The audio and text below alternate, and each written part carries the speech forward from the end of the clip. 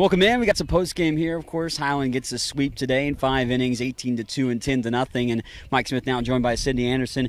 Sid, uh, you continue to hit the ball pretty well. Uh, 11 game hitting streak uh, with the two uh, here today, I believe, and of course, uh, well, multiple hits. But you get uh, opportunity to see some of the teammates, you know, come up and come forth as well offensively, and kind of do it a little bit differently in both games. I mean, first game he gets a lot of hits, but then you get some free passes in game two. But what's the big takeaway for you, you and the team from these two victories?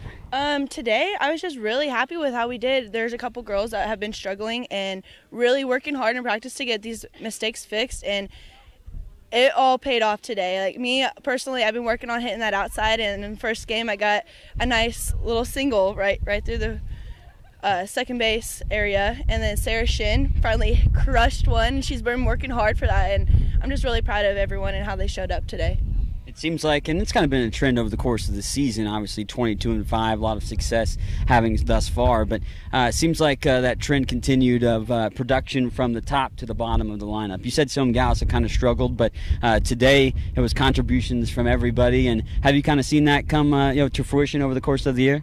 Over the year, yeah, it, it has really been working, and um, it's just amazing how far we've come so far. And I'm I'm not ready to quit. So. Well, that's good. We've got plenty more games still to go, obviously, with a couple good victories today. But uh, what's one of the big takeaways that uh, you know Coach was telling you, you know, after these uh, you know games here that you'll take away to kind of help you moving forward? Anything particular that kind of stood out? Yeah.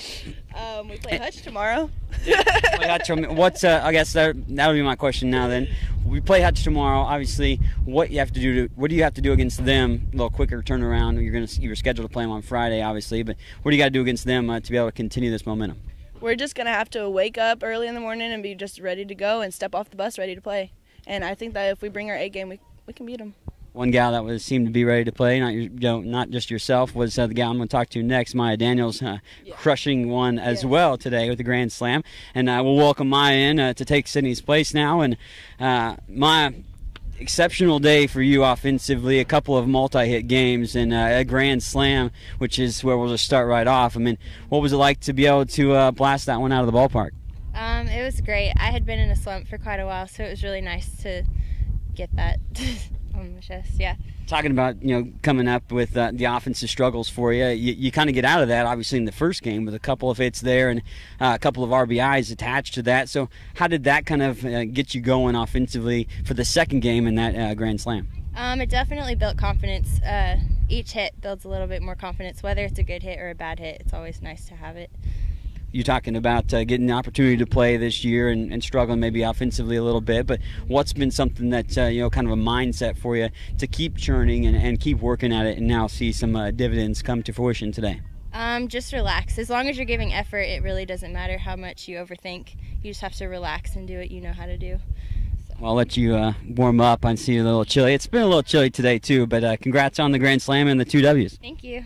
Mayah Daniels joined us, and we'll be joined by Coach Heidi Jordan now as well. And uh, Coach, uh, couple of uh, easy victories there. You know, you, you, I guess frame it that way, but 18 to two and 10 to nothing. You take them, uh, you know, the way you can get them, and get uh, wins number 21 and 22 on the season, and just kind of get your thoughts on how the games went. Uh, offensively, you got a lot of hits in game one to produce the runs. Second game, you take advantage of a lot of free passes. I think it was 13 between the walks and hit batsmen. But uh, you know, looking at the two games, uh, what kind of stood out to you?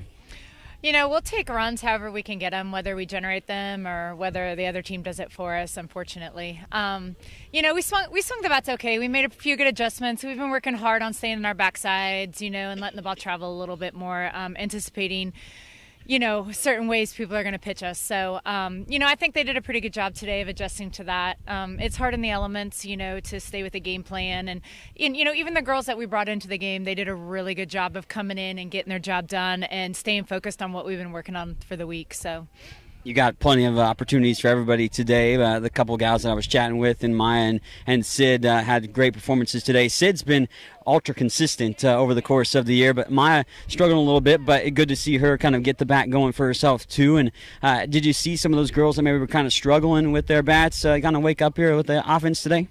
Uh, yeah, you know, with Mayah, Mayah's been so solid on defense. She's been our rock out there at shortstop. So, and she's we haven't given her enough opportunities to swing the bat for herself, but um, in her BP, she's been focused really hard and been putting some really good swings on it. So, you know, we wanted to give her that opportunity to hit for herself today, and it paid off.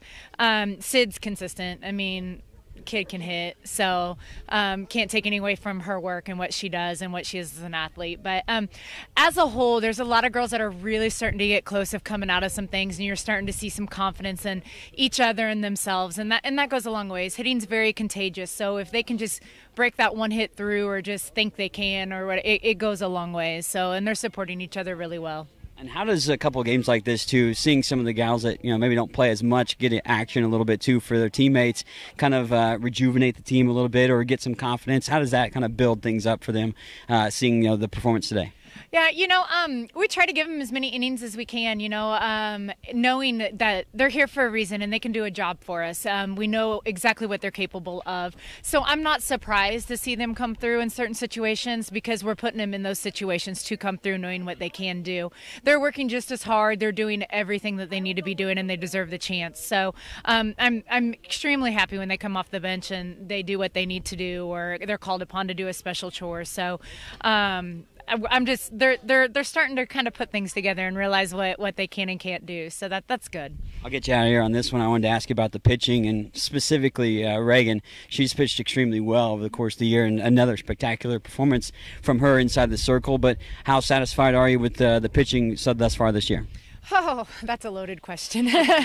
um, my expectations are high out of my pitching staff. So, you know, um, I don't want to say they're not doing well at all because, I mean, the four that we have are doing extremely well. They're part of the reason why, you know, we're, we have the success we do. So, um, they're a big reason why. So, um, Reagan's throwing very well with each game. She gains confidence, and that's great to see. The kid, the kid can be great. So um, I love to see her get stronger each time. You know, Jalissa Haley, Haley's a rock for us. Uh, she doesn't get shaken. You know, she she knows what her identity is. I know what I'm going to get out of her. I know I can count on her.